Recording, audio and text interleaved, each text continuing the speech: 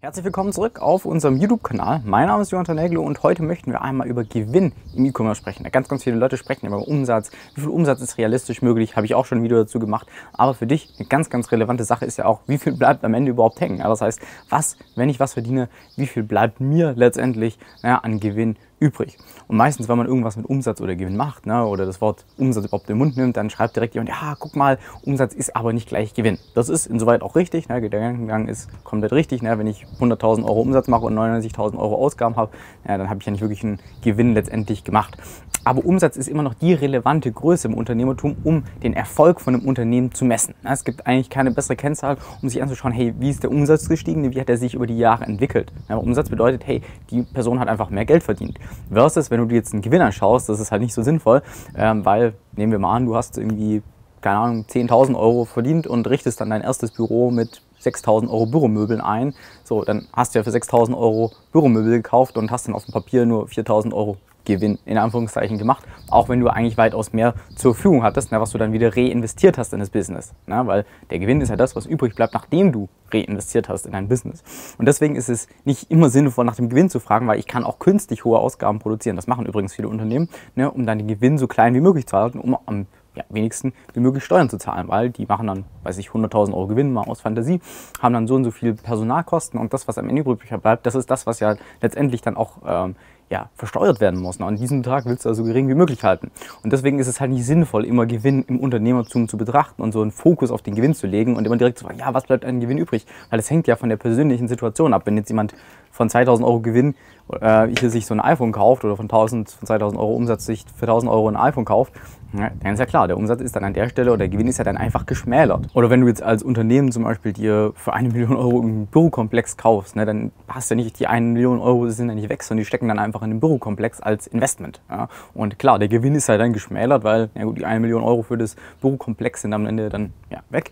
Aber am Ende ist es ja nicht so, dass du überhaupt keinen Gewinn gemacht hast. Ne. Das heißt, sowas muss man immer mit Vorsicht betrachten, wenn man da fragt, ja, es hat jemand als Gewinn gemacht, weil der hat ja wieder reinvestiert, er hat sich vielleicht irgendwas gekauft, ne, wie so ein Bürokomplex oder was auch immer. Und deswegen ist Gewinn nicht wirklich die relevante Zahl, sondern wirklich Umsatz. Aber trotzdem willst du ja wissen, hey, was bleibt am Ende bei mir hängen, ne, wenn ich jetzt das Ganze starte im E-Commerce und deswegen einfach mal eine kleine Beispielrechnung, äh, wie das Ganze dann bei dir aussehen könnte. Wir gehen jetzt mal von einem fiktiven Verkaufspreis von 59,99 aus, so ein bisschen über dieser 50-Euro-Grenze. Also so ein toller Preis, ne, wo man auch noch genug Gewinn macht, der einfach ja, Spaß macht, wo man auch genügend Marge dann letztendlich hat. Ne, 59,99, was geht davon erstmal ab? 19 Prozent Umsatzsteuern. Das ist eine ganz fixe Position, die kann man nicht ändern. Die ist halt einfach so, davon gehen 19% ab, dann hast du den Nettobetrag. Das sind in diesem Beispiel 9,58 Euro, die jetzt abgehen würden an Umsatzsteuer. So, das ist der erste Punkt.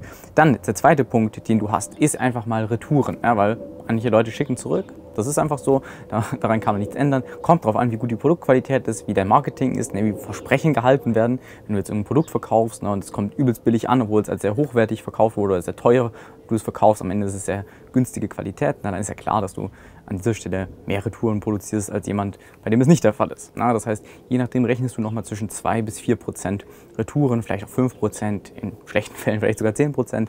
Wir rechnen hier von so 2 bis 4 Prozent. Wir ziehen hier einfach mal pauschal 10 Cent ab für eine Retoure, um die einfach vernünftig mit einzubepreisen. Na, dann haben wir den Posten abgehackt. Der nächste Posten, den wir dann natürlich dann haben, ist unsere Werbungskosten. Das ist übrigens auch der einzige Posten, den du im Dropshipping vorausstrecken musst, weil du musst ja keine Ware einkaufen. Das heißt, am Ende zahlst du nur diese Werbungskosten effektiv, bevor du überhaupt einen Umsatz gemacht hast. Eine Retouren können nur anfallen, wenn du Umsatz gemacht hast. Ähm, also auch die Produktkosten fallen ja dann nur an, wenn du äh, das Produkt dann letztendlich verschickst oder bestellst, also wenn du selber eine Bestellung bekommen hast. Das heißt letztendlich Produktkosten fallen einfach komplett weg. Werbungskosten ist der einzige Posten, den du tatsächlich vorstrecken musst. Das sind dann bei uns im Beispiel jetzt einfach mal 21 Euro, die wir abzahlen, um einen Verkauf bei Facebook oder Google zum Beispiel zu generieren. Da kann man so mit 15, 20, 30 Prozent rechnen. Ich rechne immer gerne mit 20 bis 25 Prozent, also 21 Euro jetzt hier in dem Beispiel die du dann effektiv zahlst, um diesen einen Verkauf zu generieren. So, was haben wir noch? Als nächstes haben wir dann unsere Produktkosten. Klar, wir müssen das Produkt auch noch finanzieren. Das heißt, ich rechne hier einfach mal mit fiktiven 14,34 Euro, das uns das Produkt dann im Einkauf kostet. Muss man einfach abziehen.